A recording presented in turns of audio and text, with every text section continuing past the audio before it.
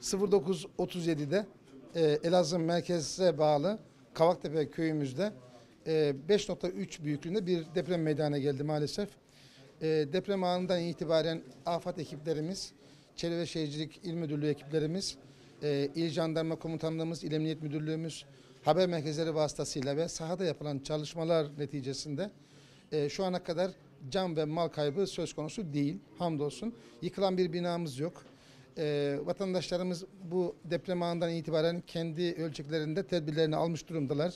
Bugün sokağa çıkma kısıtlaması e, olması hasebiyle vatandaşlarımızın gerek kırsalda gerekse kendi köylerinde gidebileceği yerlere de rahat bir şekilde e, gidebilecekler.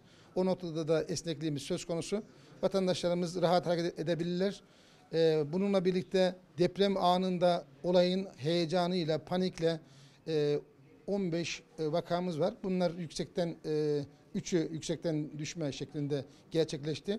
E, bunun dışında e, hastanelerimizde e, o andan itibaren heyecanla bayılan, e, ayağını burkan e, vakalarımız var. Ama hamdolsun e, hiçbirisinde ağır bir e, durum söz konusu değil. Şükürler olsun.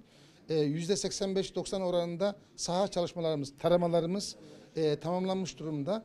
E, bununla birlikte arkadaşlarımız, e, ekiplerimiz sahada bu çalışmaları sürdürüyorlar.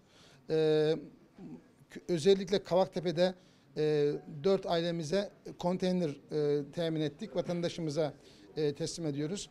E, yine kırsalda ihtiyaç olabilecek vatandaşlarımıza 110 adet konteynerimiz de Osmaniye'den yönlendirildi.